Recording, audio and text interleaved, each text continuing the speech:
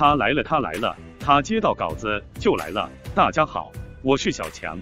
勇士两连败，北京时间十二月二十八日，荆州勇士队将迎来新赛季的第三场比赛。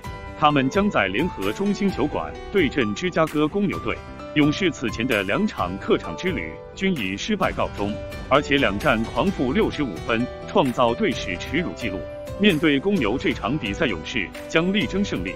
但在这场比赛之前，勇士又传来了一个坏消息。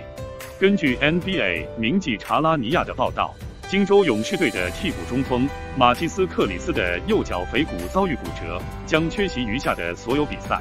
要知道，新赛季才刚刚开始，勇士队就已经赛季报销了两人。克莱汤普森在休赛期就赛季报销了，他遭遇的是跟腱撕裂。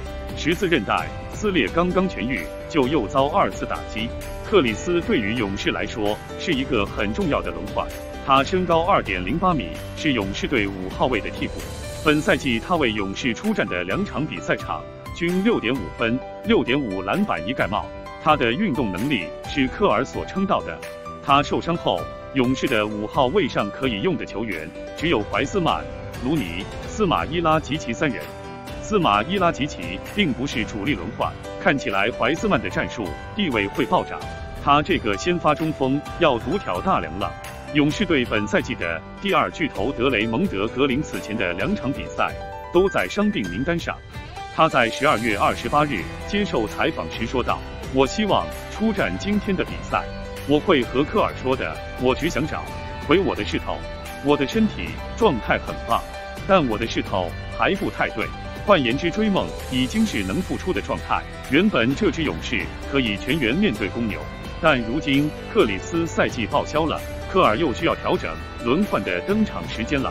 这支勇士队在进入二零一九年总决赛就开始风雨飘摇，先是凯文杜兰特跟腱断裂，随后克莱汤普森十字韧带撕裂。一九至二零赛季，库里手部伤势几乎赛季报销。德雷蒙德格林因为膝盖与脚踝伤势打打停停，休赛期克莱又遭遇跟腱撕裂，新赛季刚开始克里斯又遭遇右腿骨折。这支勇士难道因为三次总冠军花光了运气吗？唯一值得欣慰的是，二零二零年榜眼秀詹姆斯怀斯曼，他这两场比赛的表现都十分出色，他有着卓越的天赋。虽然 NCAA 就打了三场比赛，可在 NBA 赛场他的位置感很好。这位身高二点一六米的年轻天才会成为勇士内线的支柱。文言小白，and 他走了，他走了，右下角点个赞，再走啊，老板。